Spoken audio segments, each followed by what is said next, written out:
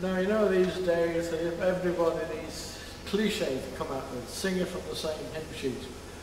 Well, church it doesn't apply. It's uh, uh, conditions, you know, that business. You see, the conditions and all that sort of thing, terms and conditions.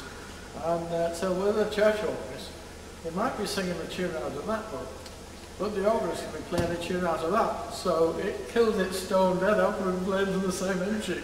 A little bit of fun. Anyway, um, actually, uh, I was, uh, when I was uh, 20, I was unfortunate to get the mumps uh, the jig of this ear a bit stone deaf, but it has an advantage because only half the wrong notes.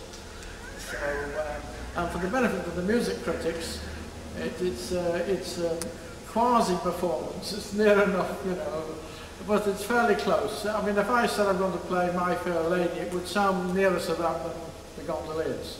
You know, so it's, it's got a fair margin. So anyway, there we go. Well, a little bit of, um, you know, almost it's amazing what it sounds. What we'll, we'll kind of, it's not organ sound, put it that way, and then you can think to yourself what, what the sound is. And uh, that's, there we go.